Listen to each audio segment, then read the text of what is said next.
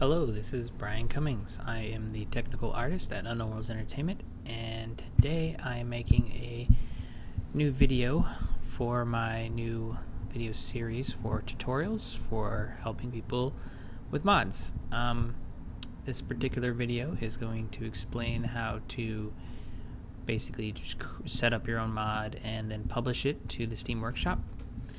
And in future videos I do intend to go into more information about how to use the source model files um, for all of the uh, art that uh, has been posted and um, specifically how you set up your own rigs and animations and all that fun stuff and that way you can get your own custom models and animations into your own Natural Selection 2 mods.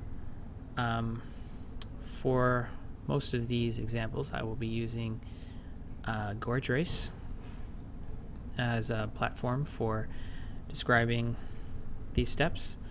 Um, Gorge Race is a mod that I started recently and you can find it on the Steam Workshop and we'll uh, be looking at it as as we go.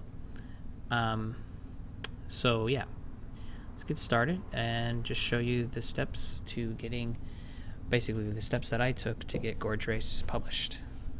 So, first thing I did is created a source file on my desktop called Gorge Race source is what I call it.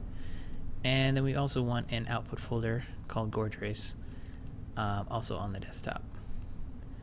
Um, we look at Gorge Race source. Inside of it, it has a map source, and then it has the level that I have uh, for Gorge Race because currently Gorge Race is just a level. Uh, soon we'll be adding new models and animations and hopefully new uh, Lua game code. And that's basically all that's in there right now though, is just a map. And we can go ahead and ignore this folder, what's in there right now, because what we're going to do is automatically generate those using Builder. So the way to get Builder set up and the way to get your mod set up is you're going to need to go to your Natural Selection 2 um, folder in your Steam apps, Common Natural Selection 2. Um, of course you need to have purchased the game and downloaded it in order to see this, but uh, you should be able to find the Launchpad application and run that. And in the Launchpad application, we can um, create a new mod. And so we'll go ahead and create a new mod here. Um, here you would put in the name, like tests, which I just obviously just had open, uh, and then output directory. And for your output directory, you want to put your folder, not your source folder, but the other folder that you made for this mod. Um, so we'll select that. Select what kind, game, and hit OK. And then you see how it made a new uh, thing on the pull drop down here. Uh, I already have Gorge Race, which is this one. And it's basically the same thing, it just has a different name. And it's using the same output folder. So next thing you want to do is set up Builder. So with Launchpad open, let's go ahead and run Builder. And then we want to load the setup. Um, again, it's in the Steam Apps Common Natural Selection 2 folder. You'll find Builder underscore setup. I'll open that. And then we're going to want to change our settings here and change the source directory to the Gorge source file here. Um, and your output directory is already set automatically here and we'll hit OK. So now we have builder set up and we can go ahead and just run build and it, well it's uh, automatically complete let's just rebuild because it'll build everything um, if it the files were already built so it didn't it didn't actually build anything when I selected that but if uh, you had new files, then you would just hit build and it would create those. Um, I went ahead and executed those correctly, and then we'll go ahead and check Gorge Race maps. And at this point, I will see my map here in my output folder. Sweet. Alright, so now, once that's set up, um, we've built the level, we can go ahead and check out Publisher. And here in Publisher,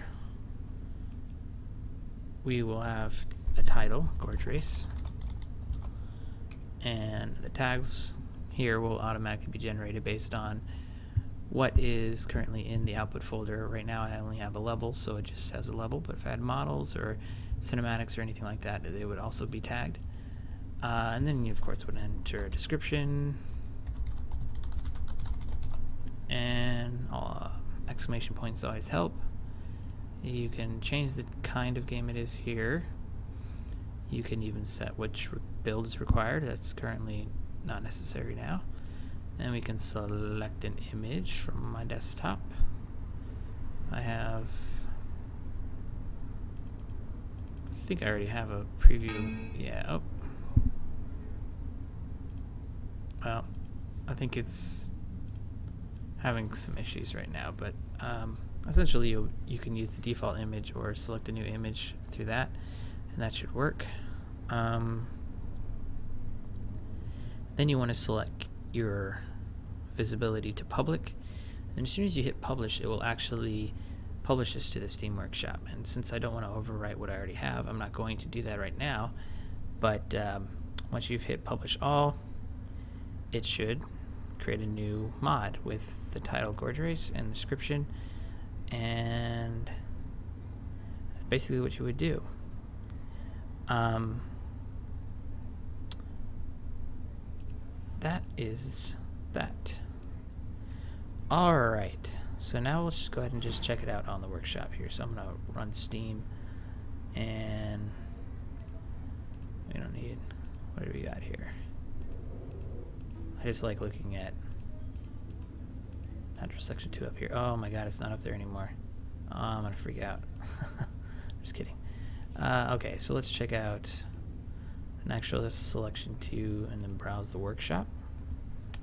And we'll see a list of mods. Um, here is Sabahel's Infestation Redo. We've got uh, some Gunslinger Overhaul for all the Marines. He's got some cool stuff. Um, Mystic Cyst mod, that looks cool. Uh, and here's Gorge Race right here. So we'll just go ahead and open that. And now we see that uh, Gorge Race is here. You've got the description. Um, this is the actual description that I put in. Uh, you see that I've selfishly positively rated it for myself. Should already be subscribed, but I'll click it again. And you can see all the comments and all that fun stuff. So that's basically how you publish a mod. And you can uh, edit it through your Steam community forum. Uh, um, sorry, your Steam window here. And you can change the visibility if you don't want it to be public anymore. Just delete it outright if you don't like it. Um, every time that you create a new mod, it'll create a new ID for it. But once you have your ID for your mod, you're going to want to just continue to use the publisher to publish updates. And if you, for any reason, unpublish it, you will then no longer be able to publish under that particular um, title anymore. So just be careful with that. Okay, that's it for this video. And in the next video, what I want to do is go over how to create your own custom animated prop and uh, I'm going to be using it for the gorge race. I'm going to have a start um, start thing blocking the entrance and it'll go down uh, when I want the race to start and then it'll come back up for a few minutes and then go down again for the next wave to start and uh, that should be really easy to set up and for me at least and we'll see uh, if I can do a good tutorial for that. Alright, thank you for listening, and have a good one.